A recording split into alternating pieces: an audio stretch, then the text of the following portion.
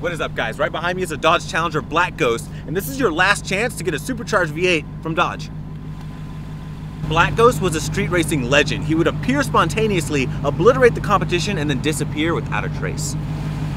That's why you have things like functional hood pins. You have a vent here, a vent in your headlights, and it's gonna say Dodge right there, just like it did in the 70s. And you get Gator vinyl on top, which the OG Black Ghost had. Unlike a 70s Challenger, this makes way more power, 807 horsepower from a supercharged V8.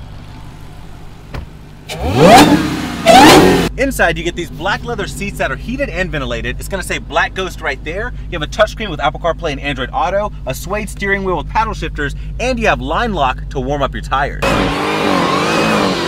And you have this chiller button that pumps AC into the engine to keep it cool, and it makes this thing really scream. And you get this last call badge for these final models, which is both cool and sad. So hurry, time's running out.